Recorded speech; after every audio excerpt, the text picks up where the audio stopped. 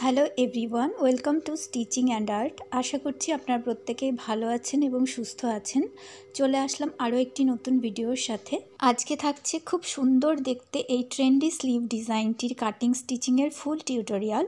এরকম একটি হাতার ডিজাইন আপনারা কামিজের সাথে অথবা ব্লাউজের সাথে ব্যবহার করতে পারেন। নিচের দিকটাতে খুব সুন্দর করে কুচি দিয়ে ডিজাইন করা হয়েছে। আর লেস ইউজ করেছি আমি এখানে। আর মাঝখানে অর্থাৎ সেন্টার বরাবর কিছু পুঁতি ব্যবহার করেছি কুচিগুলোর মধ্যে। আশা করছি ভিডিওটা একবার দেখলে আপনারা নিজেদের জন্য এরকম একটি হাতার ডিজাইন তৈরি করে নিতে পারবেন। সো ভিডিওটি স্কিপ না করে প্রথম থেকে শেষ পর্যন্ত দেখতে থাকুন। তাহলে চলুন ভিডিওটি স্টার্ট করা যাক। তো, এই হাতার ডিজাইনটি বানানোর জন্য আমি এখানে কাপড় নিয়ে নিয়েছি। কাপড়টা এখানে একবার ভাঁজ করা রয়েছে। অর্থাৎ ডবল রয়েছে। তো এই পাশটা ফোল্ডেড সাইড রয়েছে আর এই সাইডটা ওপেন সাইড রয়েছে।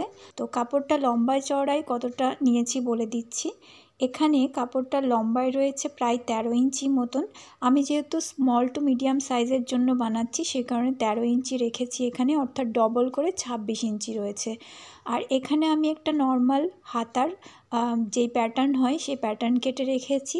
একটি পেপারের ওপরে আপনারা আপনাদের সাইজ অনুযায়ী এরকম পেপারে একটি হাতা কেটে নেবেন। তারপরে আপনাদের যে সাইজের হাতা হবে, সেই সাইজের থেকে মোটামুটি ডবল কাপড় নিলেই হয়ে যাবে। তো এখানে আমার সাইজ যতটা রয়েছে তার ডবল রয়েছে। অর্থাৎ আমার হাতাটা, পেপারের হাতাটা চওড়াই ছয় ইঞ্চি, সাড়ে ছয় ইঞ্চি মতো রয়েছে আর তার ডবল রয়েছে কাপড়টা তেরো ইঞ্চি মতন।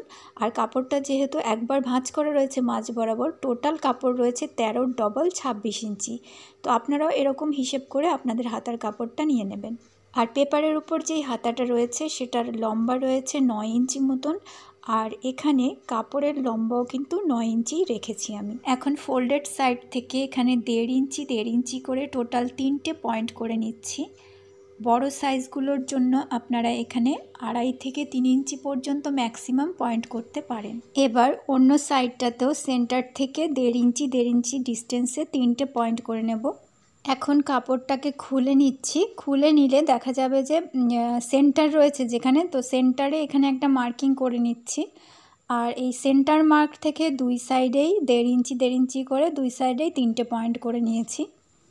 এবার এখানে প্রথমেই যেই দাগটা রয়েছে, সেই দাগটাকে এরমভাবে ধরে তুলে আমাদের মাঝখানে যেই সেন্টারের দাগটা রয়েছে, সেটার উপর তুলে দিতে হবে।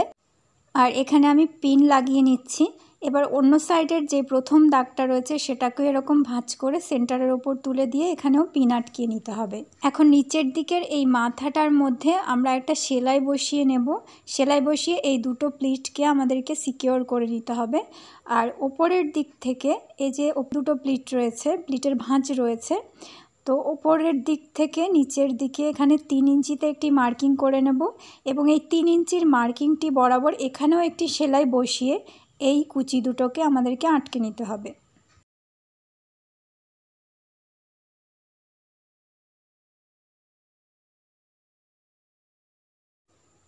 তো এবার এখানে আমাদের সেকেন্ডের যেই দাগটা রয়েছে, সেই দাগটাকে এরমভাবে ধরে তুলে সেন্টারের দাগের ওপরে তুলতে হবে।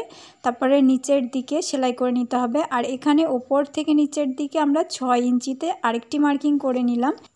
এবার এই দুটো মার্কিংয়ে সেলাই করে নিতে হবে। এই দুটো সেলাই করে নেওয়ার পর আমাদের লাস্টের যেই দাগটা বাকি পড়ে থাকল, সেই দাগটাকে এরকমভাবে তুলে ধরে সেন্টারে রাখতে হবে এবং এক্ষেত্রে শুধুমাত্র নিচের দিকেই একটাই সেলাই হবে। এখানে ওপরের দিকে আর কোনো সেলাই হবে না। তো এরকমভাবে আমাদেরকে এই পুরো স্লিভের প্যাটার্ন রেডি করে নিতে হবে।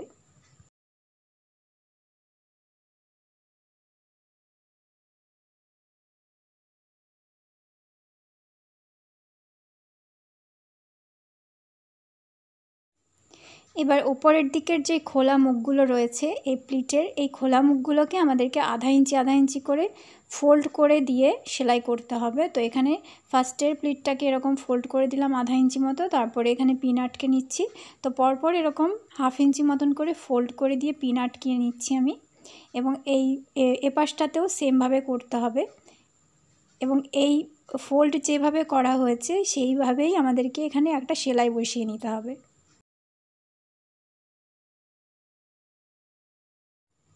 তো সেলাই করে নেওয়ার পর উপরের দিকে রং সাইডে আমরা কি করব? স্লিপের যে রং সাইডটা রয়েছে, সেটার উপরে আগের যেই পেপারের হাতা কাটিংয়ের প্যাটার্নটা ছিল, সেটাকে এরকমভাবে বিছিয়ে নেব। তারপরে এই পেপারের কাটিং যেভাবে গেছে, সেভাবে এর ওপর দিয়ে আমাদেরকে সেলাই করে পেপারটাকে মেইন যেই হাতার কাপড় আছে, তার সঙ্গে আটকে নিতে হবে।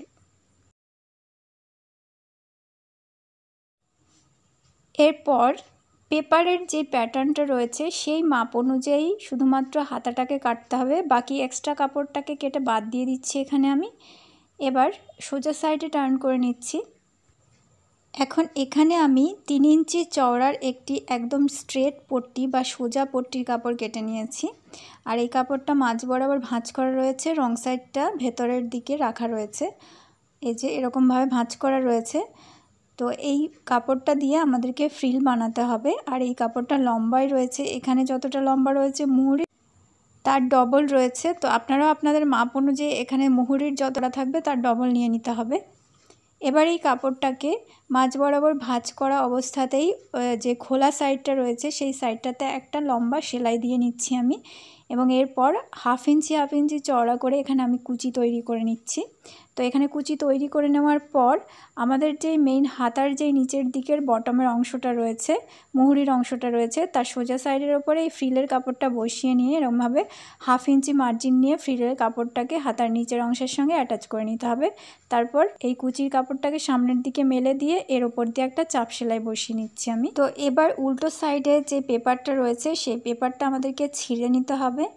আর সোজা সাইডের ওপরে এখানে আমি কয়েকটি বিটস নিয়ে নিয়েছি বা পুঁতি নিয়ে নিয়েছি। তো এই পুঁতিগুলোকে আমি এরকম সেন্টার বরাবর যেই প্লিটের যে সেলাইগুলো রয়েছে সেই সেলাইয়ের ওপরে এরকমভাবে কয়েকটা পুঁতি সুচ সুতোর মাধ্যমে হাতে অ্যাটাচ করে নেব। তো আপনারা, আপনাদের পছন্দ অনুযায়ী যে কোনো ধরনের বা যে কোনো কালারের এখানে পুঁতি অথবা বিটস ইউজ করতে পারেন। আর নিচের এই কুচির ওপরের জায়গাটাতে আমি এরকম একটা ফিতে বসিয়ে নেব। তো আমি পুঁতিগুলোকে সুচ সুতোর মাধ্যমে আটকে নিয়েছি এই যে, পরপর কয়েকটা আটকে নিয়েছি।